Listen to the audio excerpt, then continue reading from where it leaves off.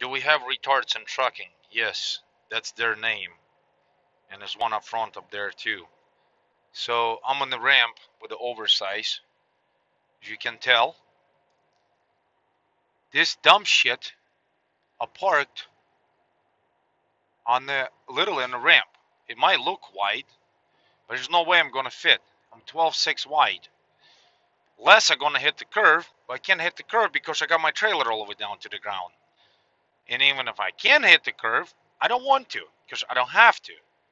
I'm not gonna rip my rubber for this dumb shit over here. Uh, I wonder if he's sleeping.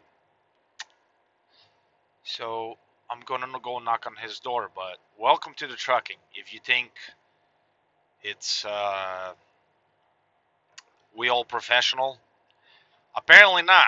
I have a proof. This is just stupidest thing you can do.